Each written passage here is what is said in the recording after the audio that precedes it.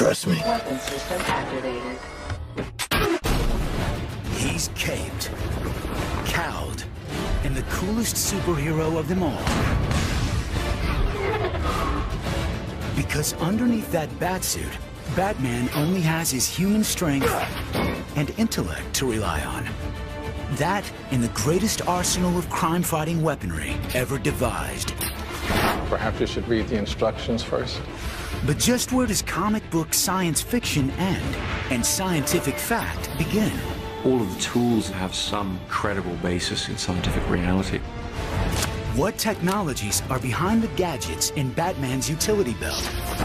And just how plausible is the Batmobile? These machines now, they do really work. Get ready for a real-life trip to the Batcave as we reveal the secrets behind Batman tech.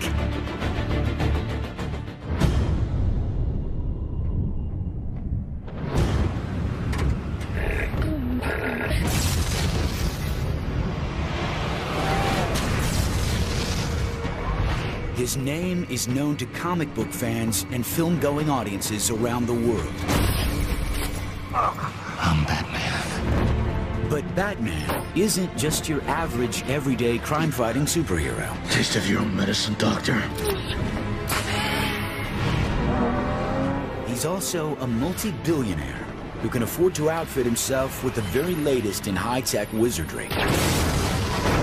The technology of Batman is important to the character because he doesn't have superpowers, and so the technology he employs, uh, which he's able to finance uh, through his great wealth and through his company, give him the advantage that he needs to fight crime. Batman invents out of necessity. Problem with the graphite, sir. The next 10,000 will be up to specifications. When he finds something that's lacking in his arsenal of technology, he'll go out and try to find a solution for it. So, in a certain sense, you could say it's limitless. Since his very first appearance in the pages of Detective Comics, Batman has used the iconography of a bat to strike fear into the hearts of Gotham City's most notorious arch criminals.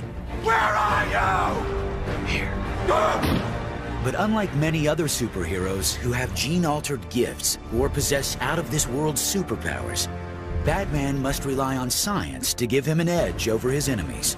Well, he has to use technology in order to solve crimes and capture criminals. Other superheroes just use their superpowers. Batman relied on skill and technical knowledge. Now, you couldn't really grow up to be Superman, but if you're really cool and really dedicated and really focused, you could become the Batman. Bruce Wayne, of course, is a billionaire. He can have the cutting edge technology he wants. Doesn't matter what kind of materials he wants to buy. And he's got uh, the best people in the world working for him. Well, what is it today? One of the great things about Batman is that he has access to Lucius Fox and his department where they come up with all these amazing gadgets. Here we are. Kevlar utility harness, gas-powered magnetic grapple gun, the 350-pound test monofilament. As envisioned by comic book creator Bob Kane in 1939, Batman was originally more of a super sleuth than a superhero. In fact, his first crime-fighting gadgets were not much more sophisticated than standard lockpicks, passkeys, and an occasional glass cutter. He was always on the cutting edge, but, you know, picks and cutters were probably the cutting edge in 1939. Much of the early stories, it was really the technology of convenience. It was what people knew.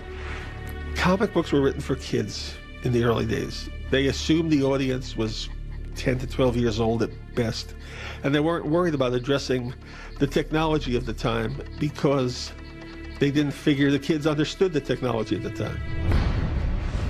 There were smoke pellets, gas bombs, things along those lines and able to disable or confuse. These are the traditional weapons that Batman's able to pull out in order to achieve what he needs to achieve. But there was one weapon Batman refused to carry for nearly all of his crime-fighting history. A gun. He didn't carry a gun for very long because somebody quickly realized it was contrary to who and what he was. Here's a character whose parents had been killed by guns. A gun was anathema to him. It was something he really didn't want to touch. It was what had made him who he was. And it's much more heroic to solve the problem without simply being able to shoot the villain, but having to use your wits and your other abilities. Instead of packing heat, Bruce Wayne relied on other, more innovative crime-fighting methods. Methods that became increasingly sophisticated over the years. In 1940, for example, Batman used infrared night vision goggles, a technology being developed at the time by the U.S. Navy. Night vision is heat vision, is literally what it is. If you think about light, everyone's familiar with the spectrum of the rainbow, the red, yellow, green, blue. There's also different spectrums that we can't see. And infrared is what we refer to when we're talking about the type of radiation you get from heat. So any hot body will emit this type of radiation, and you can design cameras to detect it. And so night vision is basically looking at that wavelength of light. Batman has lots of gadgets, but Batman's great thing was that many of them are all small enough to fit in his utility belt. And making things small can be a challenge. But it's not technologically impossible, and that's driving a lot of technology these days, is how can we make things smaller and smaller and still function the way we want them to. One early gadget Batman had in his utility belt was a miniature camera. The device was inspired by the ones actually being used by spies in the years prior to Batman's debut. Clandestine photography goes back into the 1930s with the commercial Minox camera. This was a camera that was invented in 1934 by a Latvian engineer by the name of Walter Zapp. His idea for the camera was a camera that could be held in one hand. But if you're not very dexterous with this camera, it does take two hands to cycle the film. In the commercial world, that's not an issue. But in our world, that draws attention, and we don't like that. Our challenge is to make a camera that can be easily concealed in one hand, small enough that it can be easily palmed. We want to be able to easily manipulate it with one hand, and while we're at it, we're CIA, we're always going to try to process improve. We're going to make ours take twice as many shots. This is the camera that did it. This is the agency's first sub-miniature document copy camera. A camera like this is like one Batman might have in his utility belt. In the late 1940s and early 50s, as the world entered the atomic age, Batman's use of real science literally rocketed into the realm of science fiction. In the 50s, a lot of the, the fiction was very science fiction based. So, you know, Batman had ray guns. They flew in spaceships and things like that. It was just reflective of the times. In Batman number 109, the Caped Crusader used a heat ray to detonate explosives floating in Gotham City Harbor. It seemed far-fetched at the time, and was. But believe it or not, the U.S. military is currently working on just such a device to add to its arsenal. A heat ray is a low frequency infrared kind of light, and the Army today is developing weapons based on heat rays, much like the one that Batman used. Called the Active Denial System, this non-lethal weapon directs high-frequency microwaves over distances up to 550 yards. Roger, I'm ready for a 100% shot, three seconds on the CLT. Its heat ray is about as hot as a light bulb and can penetrate the clothing of aggressors without seriously harming them.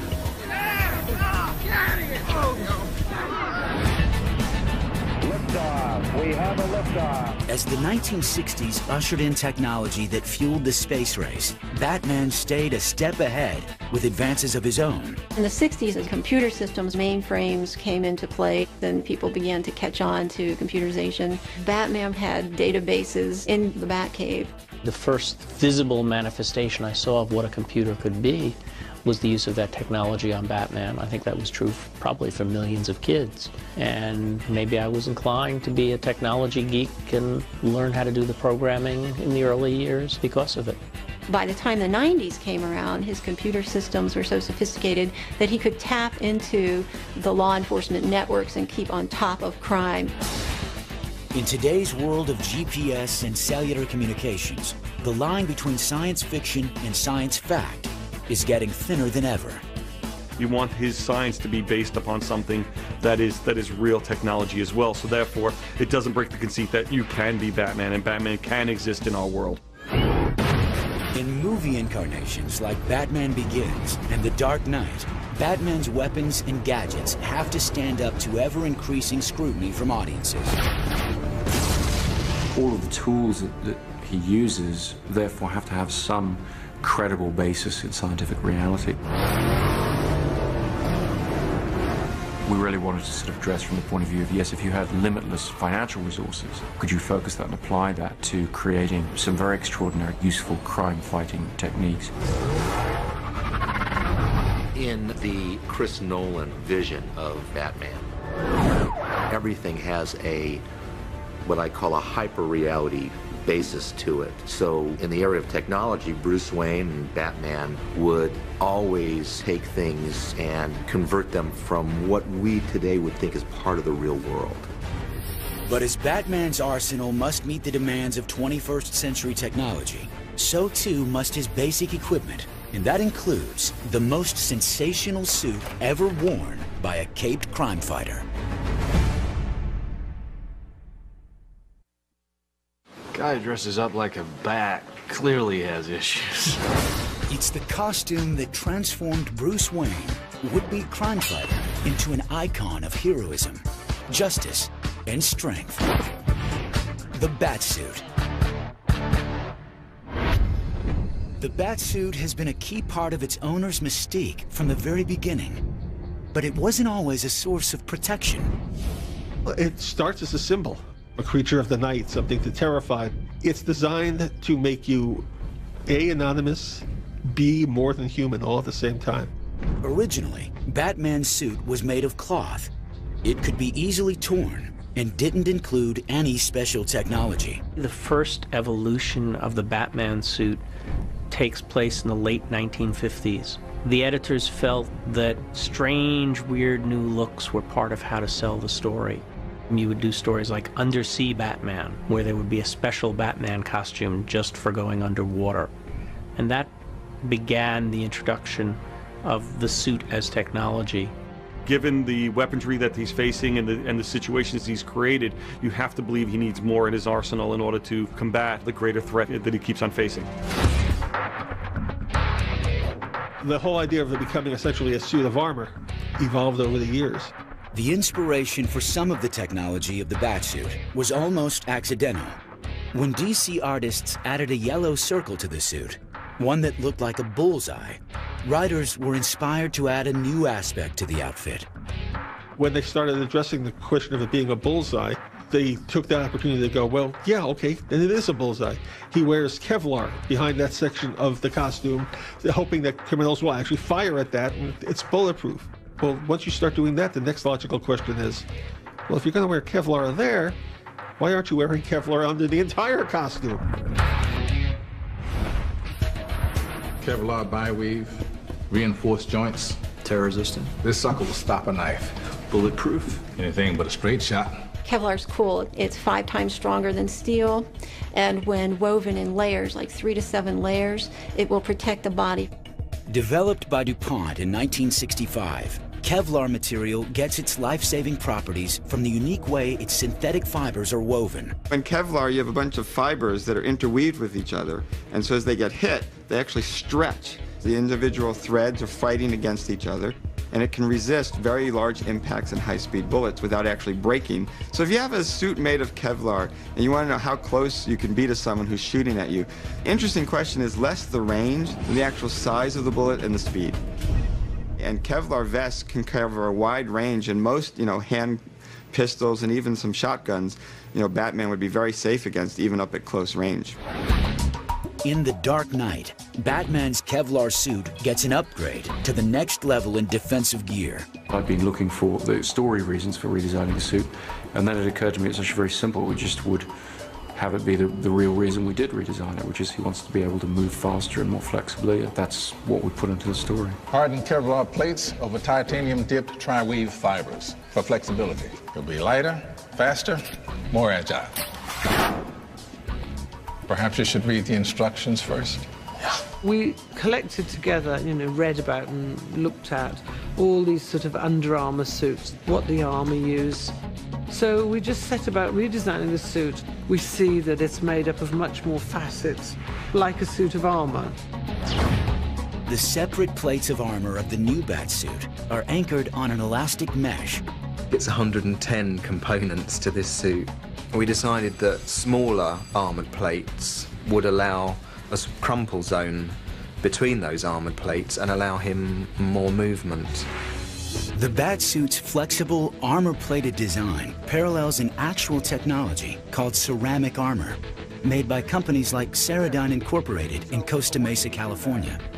Their ceramic plating has the resistance of steel, the material that's long been used to stop bullets. But ceramic plating is 70% lighter. To stop the bullet, you have to break the bullet. Therefore, you need something that is harder than the bullet. The lightest weight, hardest material known to man for these types of applications is known as boron carbide.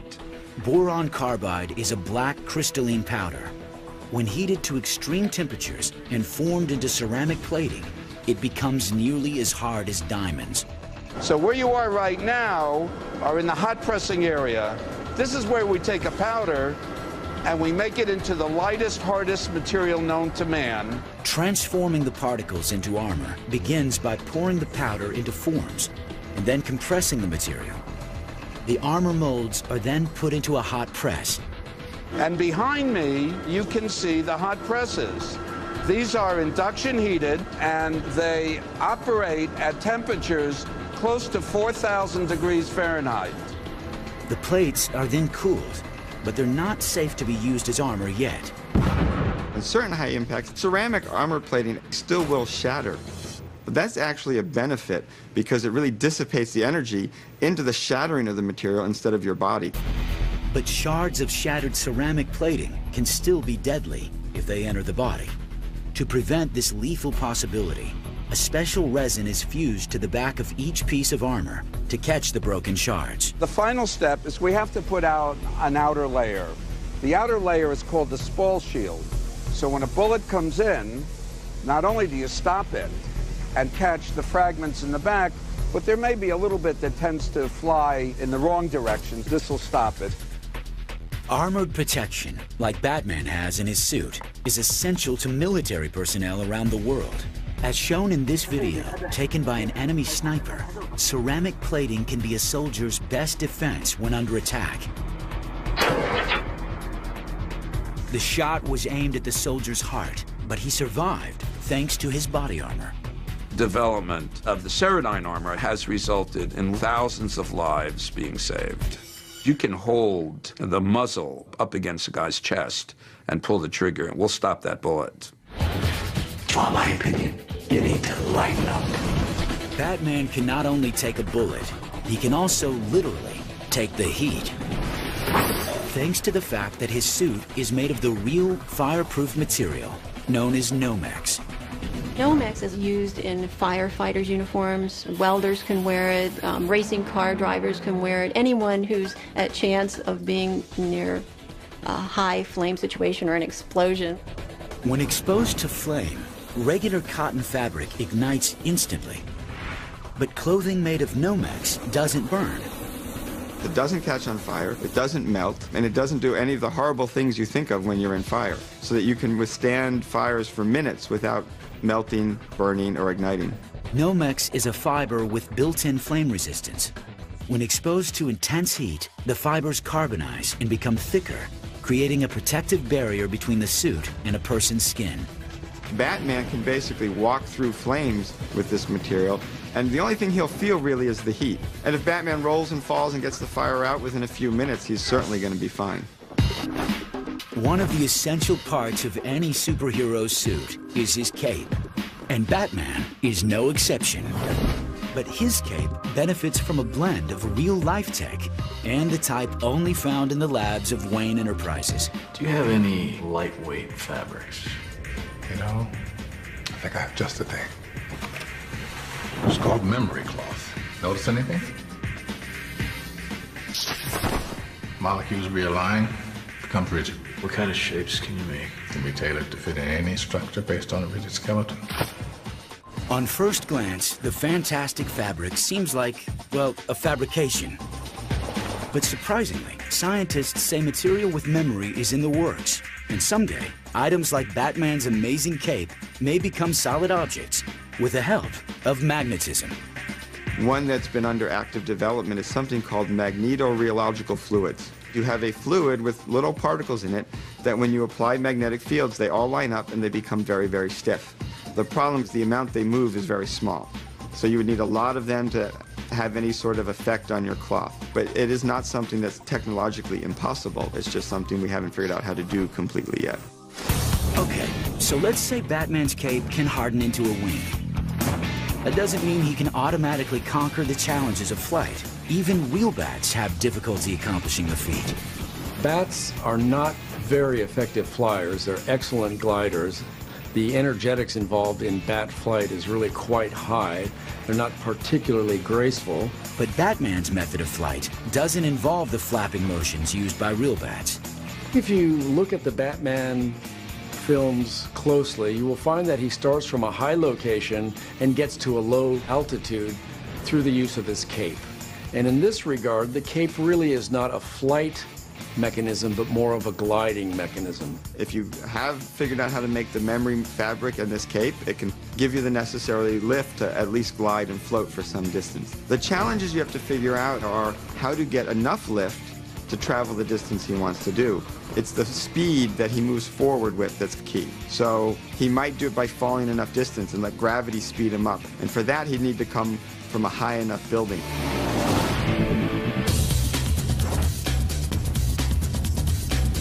Believe it or not, people can actually glide like the Caped Crusader. In our world, we may not have Batman's transforming cape, but we do have something similar. Wingsuits. The way this thing works is there's, there's a slit right here. Air goes in the arms and fills up the suit. Actually, this whole entire suit is one big wing. The whole entire thing fills up with air, and that's kind of what helps you fly. You're not just controlled falling anymore. So a wingsuit works basically the same way that we expect Batman's cape to work. You have the fabric shaped between your arms and your body and your legs in a way that gives you an airfoil type effect, a wing-like effect that generates lift as you move forward through the air. But if you look at the way they use wingsuits, you can tell that there's some dangers there in terms of the way Batman uses his cape, as most of the people using a wingsuit also have a parachute for the last bit um, to get them down to the ground safely. Of course, not all of Batman's technological tricks are in his suit. For others, you have to look closer. Inside the most mysterious and versatile toolbox in superhero history, the utility belt.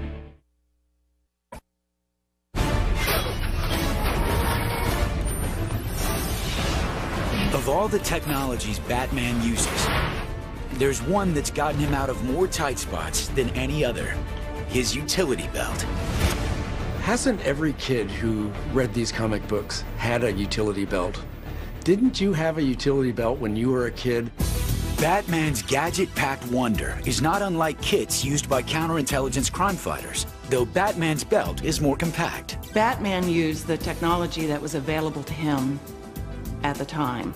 Our traveling technical officers do the same thing. They carry a small kit with commercially available items. The kit even contains lock-picking devices, just like Batman's, but ours requires special membership and ID. Over the years, Batman's utility belt has contained scores of gadgets. Some of them more far-fetched than others. I always thought the rebreather was very cool. A rebreather is something that you sort of fit in your mouth and allows you to breathe underwater for a short period of time, longer than you could by holding your breath. But many of Batman's gadgets are based in real technology. Take, for instance, his flexible fiber optic periscope. Fiber optics are, are, very common materials now. You can see them in a lot of kid toys. Um, they're the nice little glass fibers at the end that shine the lights out the end. And basically what you do is bend light. Then as the light tries to bounce out of the tube, it actually reflects back in. We call this total internal reflection. The light stays inside the device. Even if you bend it through a fairly sharp angle or curve, it's the properties of the material it's made out of that keeps the light inside the fiber. And so you can take this periscope made out of fi uh, fiber optics and bend it around corners and twist it around as much as you need to to get where you want to look. And the light coming in one end will come out the other and you can see what you're looking at. It's you, isn't it? The other kids won't believe me.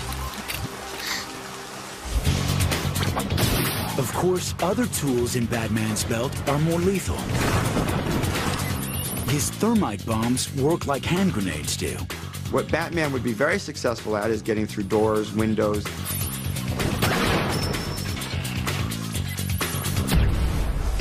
A more unusual weapon is Batman's signature Batarang, the Dark Knight's version of a boomerang.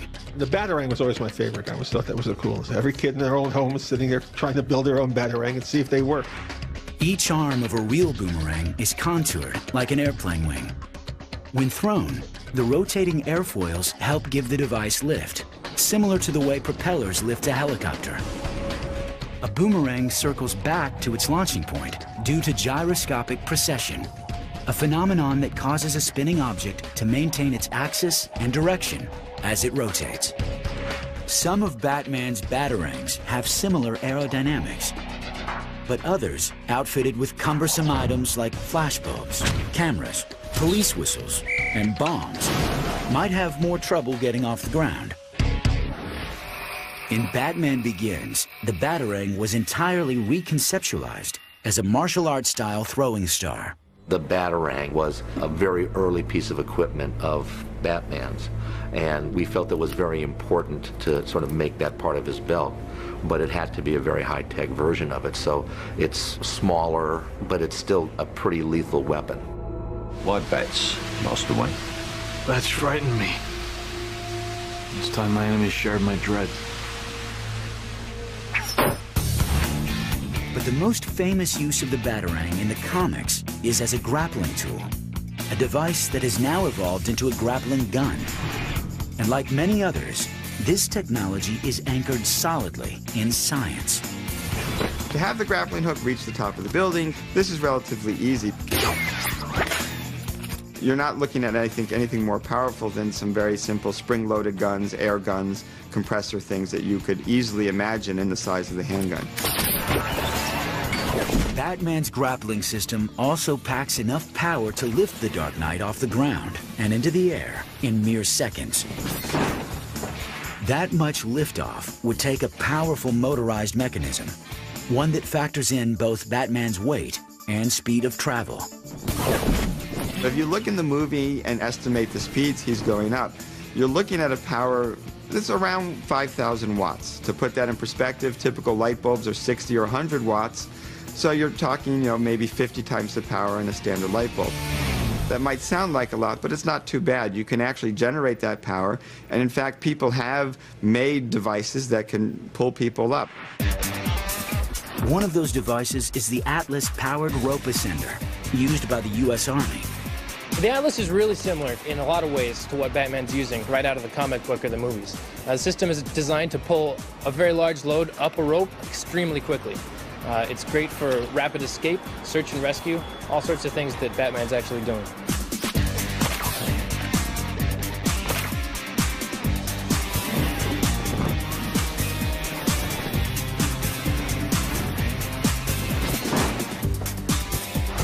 The Atlas also lets its user do a controlled descent down the side of a building or mountain. And its mechanism is relatively simple. It's a lot like a capstan winch on a sailboat. And the capstan basically gives you a very strong circumferential grip around something round when you apply a load to the rope. To engage the rope, you simply wrap it around that capstan winch mechanism in the device, close the lid, and pull the trigger. To operate it, it's like a, a portable drill, variable speed trigger. You pull the trigger more, you're going to go up faster. Built for combat search and rescue and other vertical tactical operations, the Atlas can swiftly lift over 500 pounds. So just like Batman's grappling system, carrying two people isn't a problem. A fully loaded soldier is always going to weigh at least about 300 pounds. In the infantry, the lightest pack load that men have is about 75 pounds. From there on, it only gets heavier. So we want to be able to accommodate a soldier and a fully loaded pack at all times. Additionally, if you need to use this device for rescue, it makes it so that you can clip yourself and an additional person in and lift them both at the same time.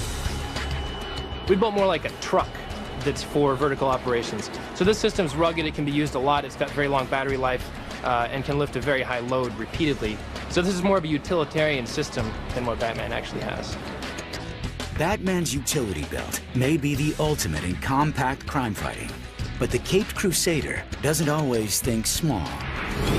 And Batman tech doesn't get any bigger or cooler than an automobile that's become a pop culture icon. At least tell me what it looks like. Never mind. What's that? Well, the tumbler? Oh, you wouldn't be interested in that.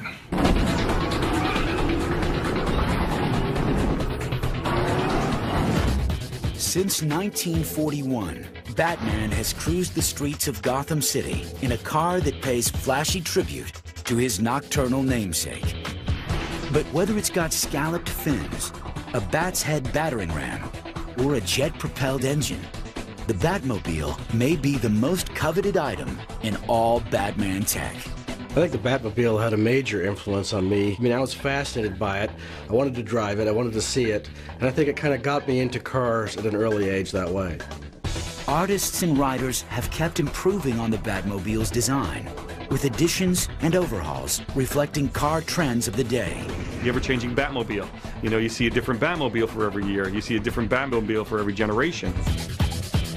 In the 40s, you had the big grill, which was kind of cool. The first Batmobile I remember was the Batmobile of the 50s with the huge bat fin on the back and the bat-headed battering ram in the front. It was big enough to be a tank. Then he got into the 60s and the car evolved to match the one in the television series with the atomic turbines. Then in the early 70s, it became a sports car. I always thought that was the coolest. I mean, the whole idea that this singular, unique vehicle belongs to a singular, unique character. So what do you think? Does it come in black? As Batman's enemies got tougher, so did his car. Make it color? Uh, it's a black tank. And no retooling of the Batmobile was more radical than the one showcased in Batman Begins. Hold on. Director Christopher Nolan and designer Nathan Crowley set out to create a 21st century ride. One whose practicality and power would help set the tone for the entire film. The purpose of redesigning the Batmobile, which we call the Tumbler, was to have it have capabilities that we felt a crime fighter would need to have in the modern day. The tumbler that was the first thing we designed because I felt that if we could show the, the studio what the Batmobile was in our world, they'd get a handle on what everything else would be. Action! I felt that we needed a new contemporary approach in order to believe in the utility of this vehicle. So what I proposed was a cross between a Lamborghini and a, and a Humvee, something that would have the presence of almost a tank-like vehicle, but also with the speed and grace of a sports car. She was built as a bridging vehicle. During combat, two of these would jump over a river towing cables. So by definition, it needed to have a jet engine in it to allow it to jump over rivers or whatever in order to take the equipment across. It needed to have armor to protect it from taking hits. Also has the ability to drive in a stealth mode with uh, an engine that's incredibly quiet so it can sort of disappear into the environment. I lost him. We lost visual. It's a pretty cool piece of equipment. The Tumbler seems surprisingly realistic, but how much of it would actually work? Let's start with the aerodynamics. In spite of its weight of about 5,000 pounds, the Tumbler can achieve impressive speed. The Tumbler is a big, bulky, tank-like machine, but uh, probably can go about 120, 130 miles an hour. Credit goes to its surprisingly sleek design.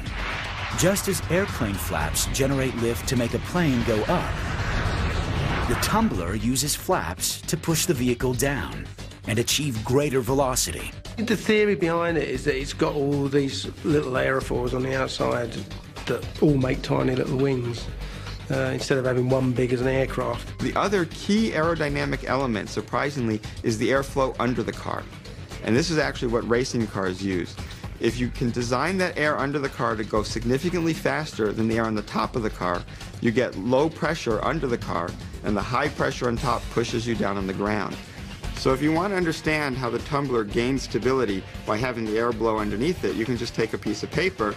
You can generate high pressure on top and a low pressure underneath by blowing under the paper, and the paper will be forced down.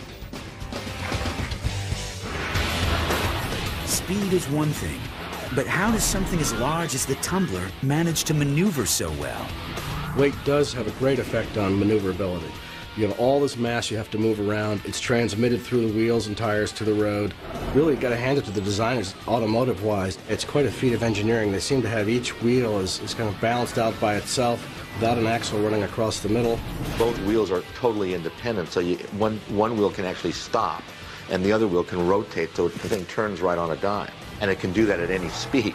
That's what's so amazing about it. I gotta get me one of those. The Tumbler is designed to get some of its momentum from a jet-powered engine. Another detail rooted in reality. Jet-powered cars have been used to set land speed records, and they've even made brief trips into the consumer world. They've tried to use jet engines in cars throughout history. 1963, Chrysler introduced the turbine car. 50 models they made uh, had a jet engine in it. Uh, they only gave them to about 200 customers for three months each. It was a very experimental program. Most people who drove it loved it. Unfortunately, the car wasn't great on gas mileage. It's a very complicated car, and it kind of died uh, a few years later. Over here on the throttle, flip that open and throttle up. This will boost you into a rampless jump. Right now! On screen, the Tumbler can also make unassisted or rampless jumps. If it comes off perfectly parallel to the ground, it's always going to fall a little bit. And so if it's jumping to something that's a little bit lower, it's okay. If it wants to jump to something at the same height or higher, it needs some form of lift or it needs to come off at a slight angle. The way you could do this is imagine a little bit of a wheelie as you take off. You don't actually need a ramp to get a little bit of vertical velocity, especially since you've got the jet engine on the back to give you that extra thrust. You just get the front end of the car up a little bit, fire your jet engine, and now you're going off at an angle.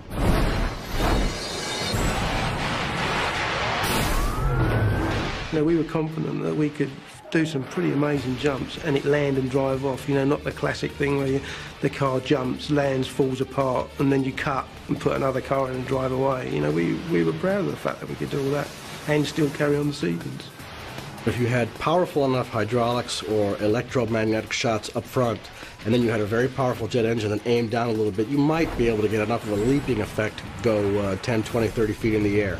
The real danger is the landing. He's going to be landing at a very high speed. So the front end of the car has to have the stability and the shock system to survive that jump. And in fact, if you look closely, the Batmobile does some interesting thing. The front wheels extend, there's extra shock absorbers there, and when it hits the ground, it slows down over that longer distance that enables it to survive the impact.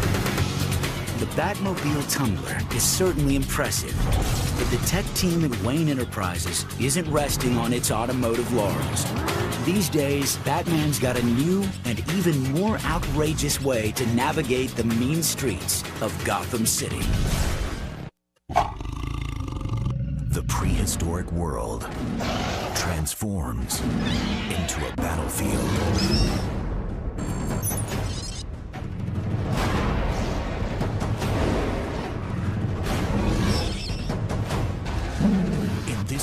There's only one rule. Survive. Jurassic Fight Club, a new series, premieres July 29th at 9, only on History. Will you be wanting the bat pod, sir? In the middle of the day, Alfred? Not very subtle. The Lamborghini, then. Much more subtle. Over the years, Batman has used his technological know-how to create countless vehicles to help him fight enemies like the Joker. He's had bat planes, bat boats, bat copters, and even a vehicle that could go from the air to under the sea. Three years after Batman Begins, its sequel, The Dark Knight, pushed Batman tech even further. One of the joys of working on a character who's been around for thousands of stories is you have to continually ask, how do I top this? The answer? The Batpod. A bold new vehicle that's part motorcycle and part lethal weapon. It's something which looks like some crazy Vikings idea of a customized uh, motorbike. It looks formidable And like everything with the movie, it works.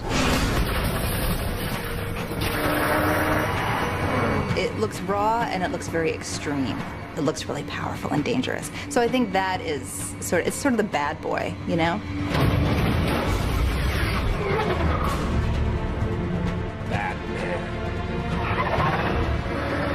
The task, as usual, was to build something that could really go fast, make turns, you know, the usual outrageous, you know, parameters. It really had to belong to the same family as the Batmobile, so that's where we started.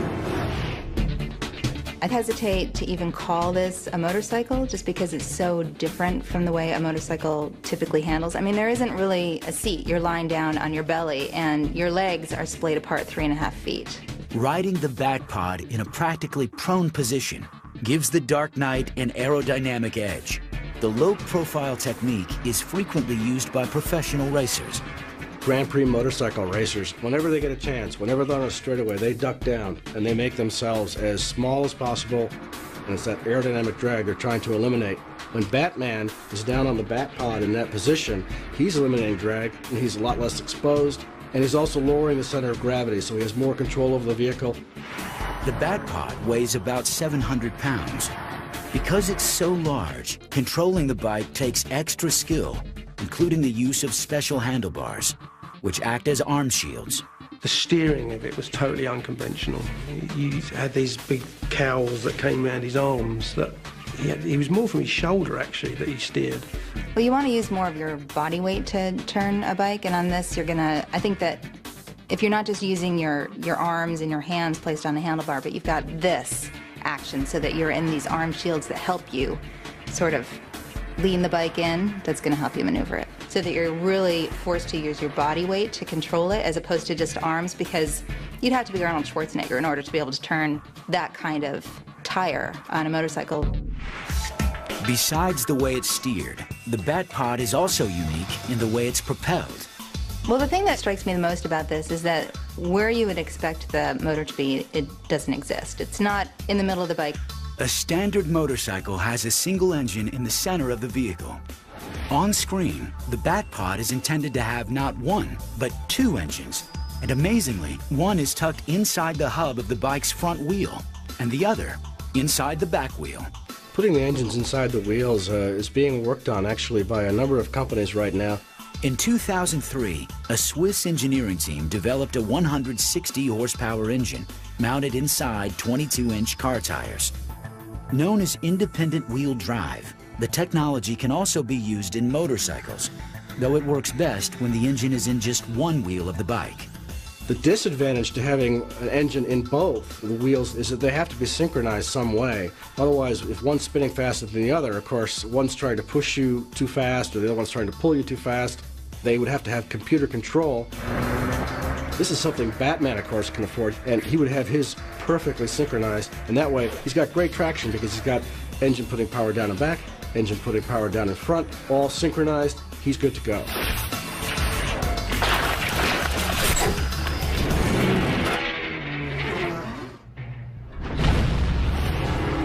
Today, thanks to scientists and engineers who've been inspired by the gadgets in the Dark Knight's world, Batman's technology is no longer just fantasy.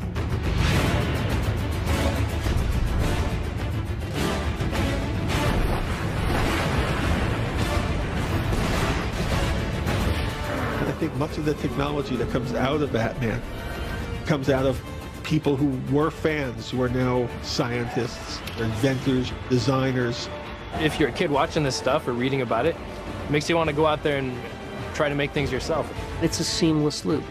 The changes in the real world inspire the writers, and the writers and the artists, in turn, inspire the scientists and the engineers to dream. I've seen now what I have to become to stop men like him. From high-speed Batmobiles to fast-flying Batarang blades, and from armor-plated batsuits to supercharged grappling guns, Batman has set the standard for superhero tech. What I love about Batman is the sense that these things really are possible. I think that makes him much more relatable because Batman's very much a human being. He embodies that fantasy of a man who, through sheer self discipline, turned himself into a heroic figure. I think that's just a very compelling myth. I never said thank you. And you'll never have to. The accessibility of Batman is because you don't have to be rocketed from another planet or have strange powers. All you have to be is the top of your physical ability and top of what your mind can achieve. And in doing so, you can become that.